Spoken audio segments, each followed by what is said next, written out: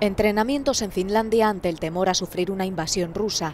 Con la guerra en Ucrania sin visos de terminar, la población civil finlandesa está preocupada de que el conflicto llegue a otros países no pertenecientes a la OTAN. En Lahti, en el sur, practican técnicas de combate, primeros auxilios y ejercicios de tiro con fusiles de asalto y munición real. Solo somos 5 millones de personas, así que si queremos defender nuestro país, muchos de nosotros tenemos que aprender a disparar un arma. Creo que es importante que todos estemos preparados, cuentan los participantes.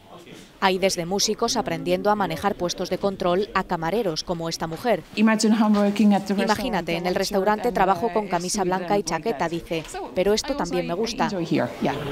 Aunque los ejercicios no son obligatorios, el 80% de la población adulta participa al menos una vez al año. También se están revisando los refugios antiaéreos en todo el país tras la amenaza de Rusia a Finlandia si se adhiere a la OTAN.